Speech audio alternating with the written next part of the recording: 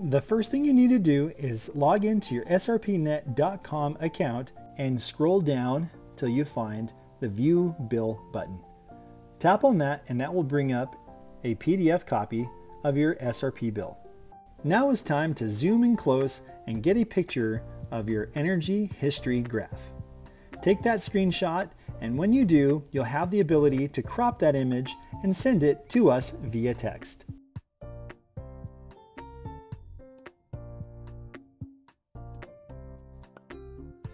Remember to save it to your photos where you will then use it later in your messaging app. If everything's gone to plan, then you should be in your messaging app attaching your photo and sending it via text. Once we've received your text message, we'll prepare your proposal and show you your savings.